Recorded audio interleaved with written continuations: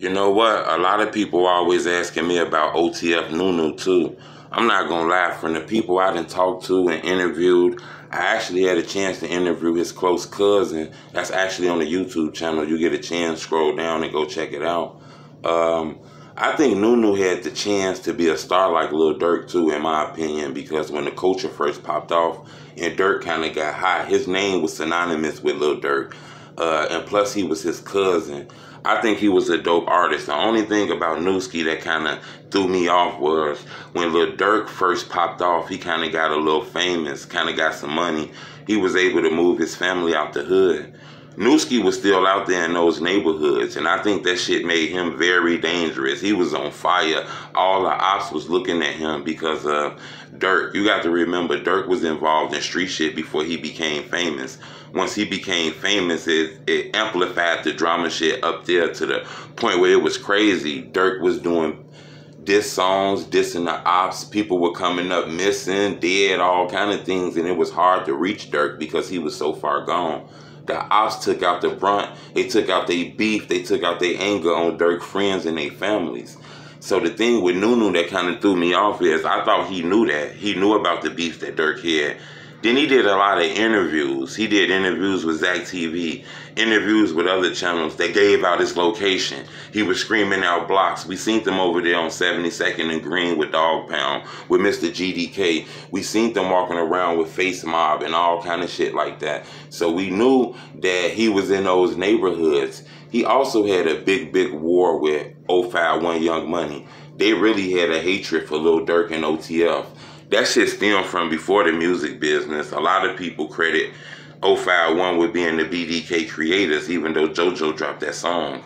Uh, it's rumors on the street that Nunu was stalked and targeted from guys from like 051 Young Money. That's all on the internet. That shit been documented on the internet. I can't verify that because you got to remember that the internet play a lot of forensic police. I try not to jump in that lane. I just give you the news that's already planted. A lot of shit be covered up. It be my job to expose it.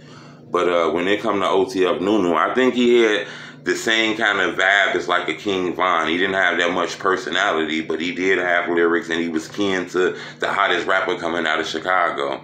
Uh, unfortunately, he lost his life due to gun violence like the rest of these guys. His killer was never caught. He was always mocked in songs. For some strange reason, Mubu Crump loved dissing him in songs. A lot of people believe Crump lost his life over dissing Nunu in them songs. If you listen to Pooh Shiesty song and Lil Durk song, they got a song Back in Blood. Durk actually mentioned the bar where he said you was dissing on my cousin, now your ass all in that wood, huh? A lot of people equate that as he was talking to Crump. A lot of people actually say that he had beef with Melly too because of rumors of Chino, L.A. Capone, all kind of shit. I ain't gonna get into that because, like I said, the internet play a lot of forensic police.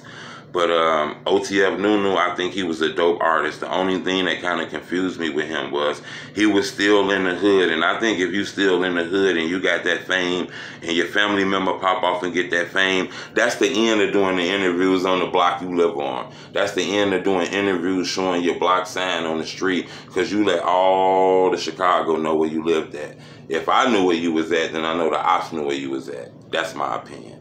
But um, like I said, I want y'all to subscribe to my YouTube channel. I don't need no donations. Keep your donations. It's cold outside. You might have got to go to get the hot chocolates. You might got to go get the marshmallows and shit. You know, it's hot. It's cold out here. All I'm asking you to do is give me a like. When you hit the like button, it make my videos grow and a lot of people be able to see them.